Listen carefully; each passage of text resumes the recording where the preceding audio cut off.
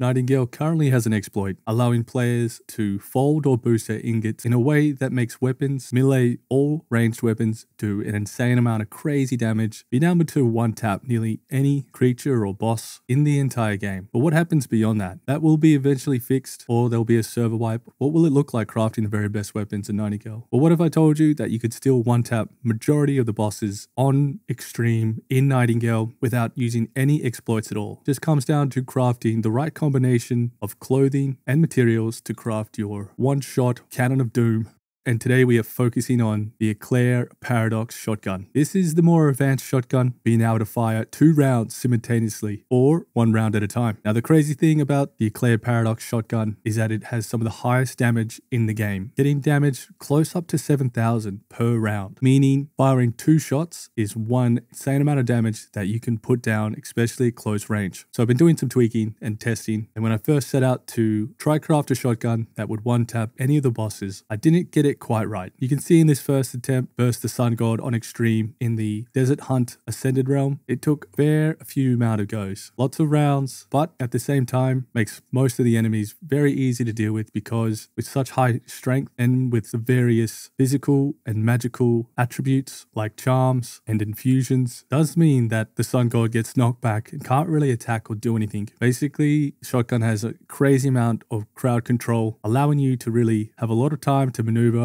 and calculate your next decision. But taking this long and this many shots to kill a sun god on extreme, I knew we could do better. So we're going to go on a journey and we're going to craft the very best paradox shotgun in a way that we can one tap nearly any creature in the game without any exploit. No folding. And this will be, for now at least, probably one of the best builds you can do. There will be some minor min-maxing that you could do to squeeze a little bit extra out of this, I'm sure, but we're getting very close to the roof. And this will be without using any potions, but we may use a certain minor card to help get us there in the end. Okay, let's get into it. Our journey begins on a beautiful morning here in the advanced realm, and we're going to start with crafting the very best shotgun. Now, what materials are we going to be using? Well, when it comes to ranged weapons, and since we're going for a crazy amount of damage, we're going to go for Inadia. And remember, a good place to find Inadia is in your Forest Abeyance realm, or practically in any of the forest realms. It's probably the preferred realms to be finding it. Keep in mind, you will need a pick or pickaxe over level 230 to gain access to an Inadia, unless you're lucky enough to find it in the desert and using that other trick I've mentioned in other videos. I'll put a link in the description. Outside that, but what else do we need? Well, important thing to remember too is that currently in Nightingale, which will change at some point, we have a different name for the shotgun. The Cedar Valve shotgun is currently what it's named in game, but when you build it, it will be called the Eclair Paradox shotgun. So just make sure that's something you're aware of. Easy to get confused there. Before we go on to what wood we'll use, it's important to understand that you will need the crude T set in order to be able to build and construct a Paradox shotgun. So the augmentation you're looking for is crude Tea Set. You could also go for the jaunty bicycle, which will also give you access to the Paradox shotgun. So if you want to purchase the crude Tea Set, you'll find that in the desert antiquarian realm. The jaunty bicycle, that is a much later augmentation to purchase. You'll find that in the in the forest ascended hunt realm. Now, of course, before we even build the augmentation that we require, we need to be able to purchase the Paradox shotgun. And where will we find it? From my understanding, the only place you can currently purchase it is at the watch. Once you get to the watch,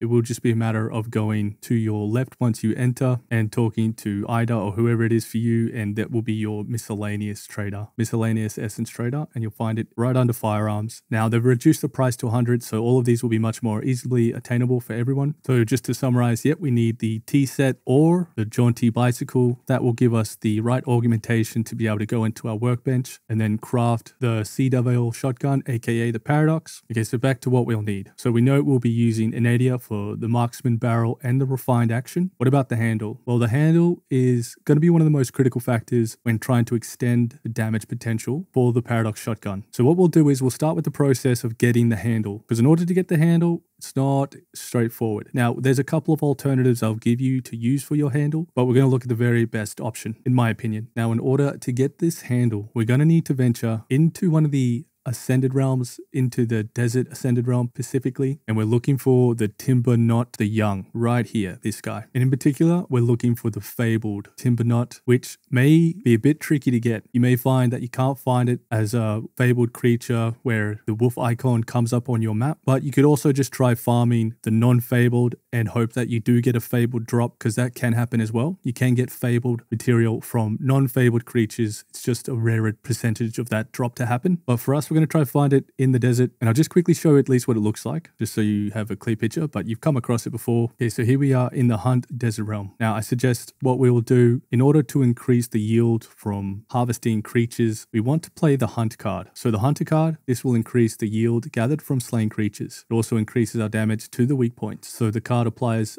slight weak point damage, slight non-weak point damage decrease, increase the yield and gathering from slain creatures. This is what we're after. So we're going to play this. If you want to be able to craft the hunt card yourself, you need to head to the hunt desert realm and talk to the essence trader there. Make sure when you play your cards, you don't run away from your, uh, it's called transmuter, because I've noticed if you do run away, a lot of the times it doesn't seem to apply the card.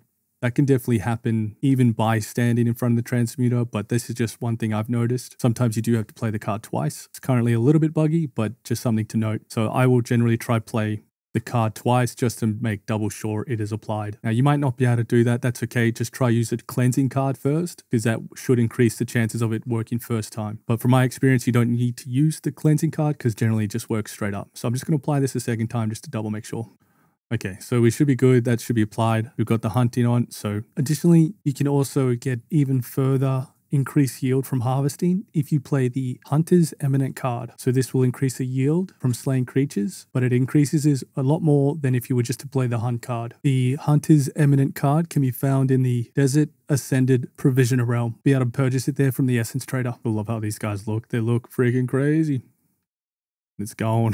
we'll quickly see if we can one-shot this without anything else helping.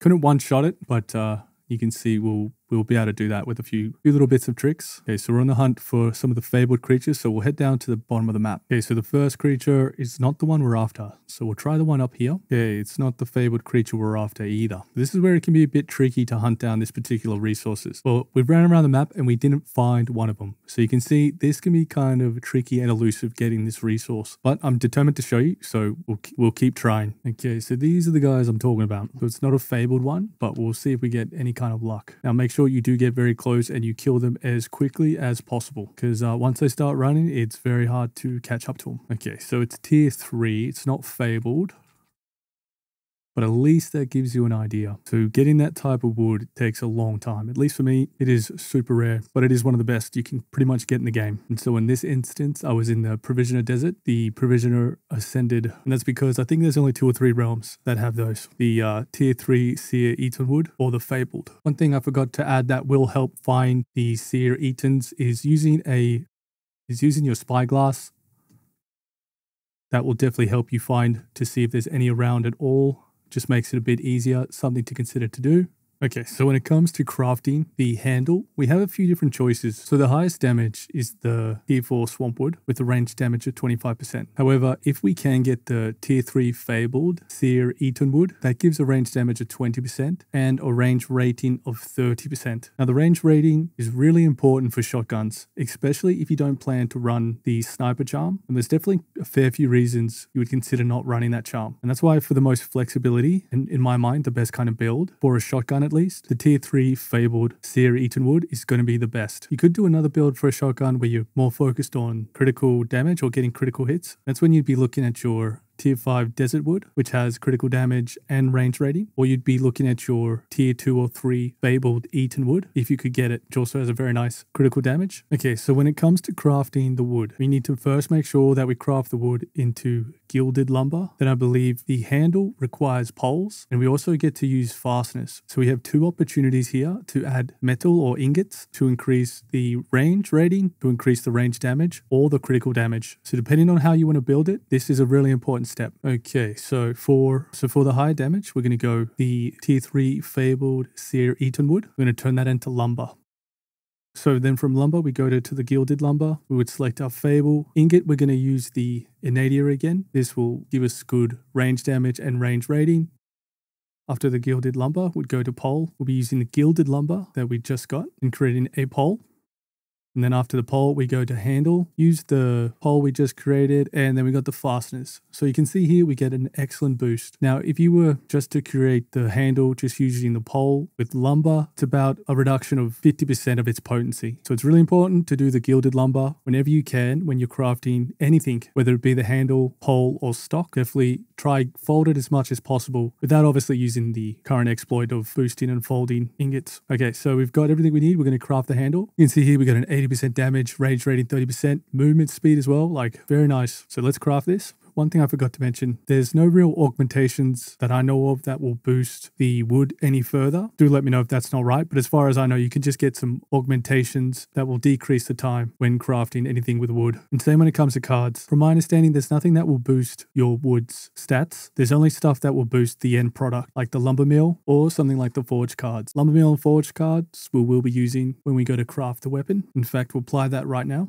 Okay, so we've got everything we need. We've got the marksman barrel, got our handle. So I'll just show you the difference between uh, the two different pieces of wood that you might use for the highest damage. So You can see here, range damage 1800 with the fabled Seer Eaton. And then if we go to the swamp, it also has less range damage. And the range rating is lower for the swamp wood. So Seer Eaton, going to be the pick of the choice. But some very, very nice stats here with the starting range damage of 1800. Okay, so let's craft this one. Okay, and here it is. So, and here it is. Here's the finished product. It Eclair Paradox Shotgun using Inadia for the metal and the Fabled Seer Eaten Tier 3. So probably the highest range damage. I really wanted to do a critical damage build, but I've had a lot of trouble trying to find the Tier 3 Fabled Eaten in the Forest Realm. If you have any ideas or where the best place is to find it, let me know. Might make another video to do the best critical damage shotgun. Okay, so that's building the shotgun. Now we also have to consider two very important pieces of clothing, and that's going to be your hat, which allows you to gain range damage of 82.8%.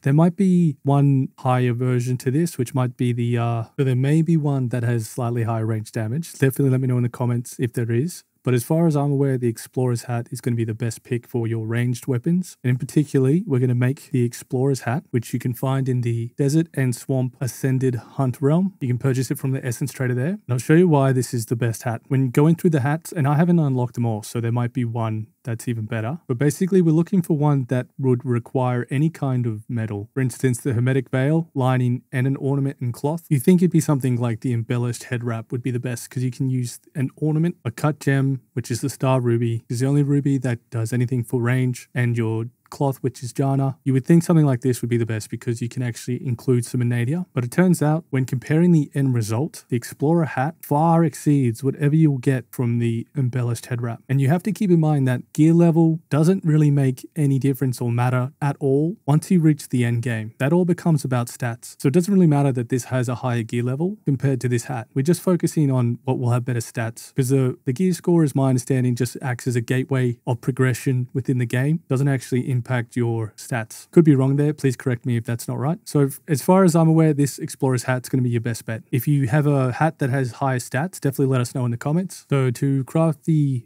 explorer's hat. I just went with Jana. I also went for cloth is Jana. It seems to be worse if you go swamp fiber. Again, it doesn't make any difference for the range stats depending on what you pick. So we're just going to go for the Jana thread because it gives us the maximum health. Again, let me know if you found a better combo. We'll quickly try the Hermetic Veil just to show you another example. You can see straight away that the range damage is far less than the Explorer hat. So for however the stats work with clothing, if anyone understands, definitely let us know. But yeah, just stressing that Explorer's hat is going to be a pick. For your gloves, it's a no-brainer. It's the Hermetic gloves. We get to add buckles from Anadia, which already gives it a good range boost. And then if we add some Jana leather, probably the best result we've got that I know of. You can see here we've got Jana, Anadia, Anadia, range damage of 8%. We go the Explorer. It's more tilted towards melee damage. And everything else seems to only give you a marginal range damage. So for now, as far as I know, Hermetic gloves are going to be your best pick. Now keep in mind, when you do cr craft your clothing, you may as well put it under the greenhouse card, which should give you these cold resistance weight, fire resistance, stealth. But for me, when I've tried that, I don't know how that translates into the end result. Not sure if it's bugged, But um, normally, when you're crafting clothes, you'd use something like the greenhouse card for e- extra benefits. I just realized we've crafted the paradox, but uh, the forge card didn't take effect. We're gonna have to quickly recraft the paradox just so we get these extra bonuses from the forge or lumber mill card. The other thing to note is that your saddle also gives a plus critical stat to your weapons, so it's a good idea to have that close by to your workbench. At least that's my understanding. So we'll just quickly craft it again, making sure that we have the fabled seer Eton. And we can already tell we've gotten a bit more of a bonus here from crafting it under this forged or lumber mill card. So very important if you want the best stats you can get, lumber mill or forged card. Okay, so comparing the two different paradoxes, one with the forged or lumber mill card, one without, you can see there is definitely a reasonable bonus there. It's not too significant, but definitely helps. So the end result once you upgrade to your tier 3 is something around these stats. Now, if you followed all these steps where you've included the explorer's hat, hermetic gloves, and you've even spiced it up with the forged or lumber mill card, you should end up with a tier 3 paradox with these stats. Now, for, for the infusions, I've used the clarity infusion, which gives you a range rating of 15%, tier 3, great for shotguns. The conveyance infusion, which is range damage, tier 3, 15%, and then death infusion, critical damage 7.5%. We'll come to the charms in a sec. I just wanted to mention your explorer's hat will get these kind of stats of 82% once you upgrade it to tier 3. And you apply the same infusions we just applied to the, the shotgun, will apply here and will provide the extra stats to get you to that 82% range damage. But to get the clarity infusion, you need to go to the Antiquarium Desert Realm. The conveyance infusion is the Astrolabe Desert Realm. Death infusion, critical damage is from your Forest Astrolabe Realm. Now, the last thing we're going to need to be able to one shot most things is we're going to need the Duelist card, as well as the various buckshot cartridges like Fire, Ice, Lightning, Poison. Your Fire Buckshot is found in the Ascended Herbarium Desert Realm. The Lightning is in your Forest Ascended Herbarium Realm. The Ice is in your Desert Ascended Gloom Realm. And your Poisonous is in the Swamp Ascended Hunt Realm. Now, the Duelist card, that's going to do a good amount of boost to your damage. And you can get that